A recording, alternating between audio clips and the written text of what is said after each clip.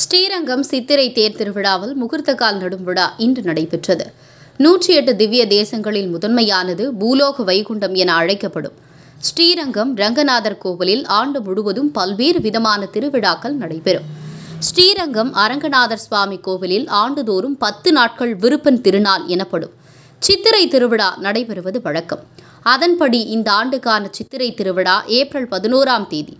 அதிகாலை கொடியேற்றத்துடன் வெகு விமர்சையாக நடைபெறவுள்ளது. இதனைத் தொடர்ந்து இன்று காலை கிழக்கு சித்திரை வீதியில் உள்ள தேரில் முகூர்த்த கால் நடும் விழா வைபவம் நடைபெற்றது. இந்நிகழ்வில் கோவில் இணையாணையர் ஆணையர் மாரிமுத்து அர்ச்சகர் சுந்தர் பட்டர் ஆகியோர் கலந்து கொண்டனர்.